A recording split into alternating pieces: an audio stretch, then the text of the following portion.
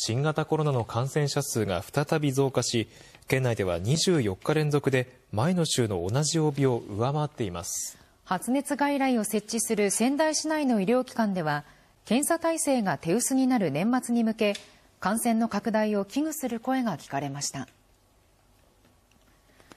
発熱外来を設置する若林区の七号クリニックです。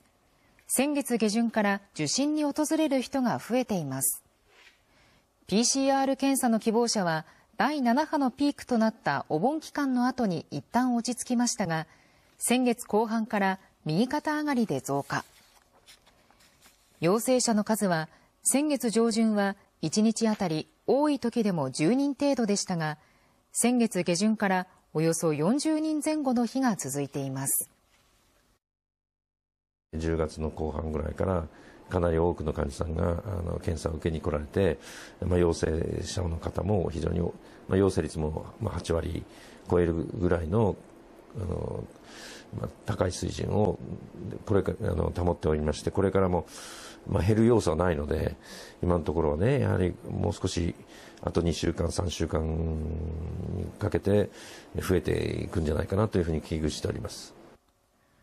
こちらのクリニックでは先週インフルエンザの感染者が今シーズン初めて確認されました。新型コロナとインフルエンザの同時流行に備え一度で判別できる抗原検査キットを準備しているほか PCR 検査の機器も増やす予定です。まあ、年末になるとやっぱり患者さんが多くなりますので、えー、とそことの多忙期とそのコロナのピークが重なってさらにそれが年末年始に持ち込まないように、なんとか、なんとか頑張っていきたいなと思っているんですけども。現場の感覚として、第7波のピーク時と同じ状態との認識を示す安倍委員長は、年末年始に医療機関を逼迫させないためにも、ワクチンの接種の加速に期待しています。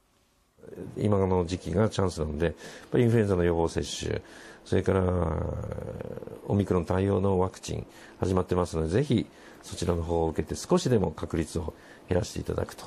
いうことをお願いしたいなと思ってます。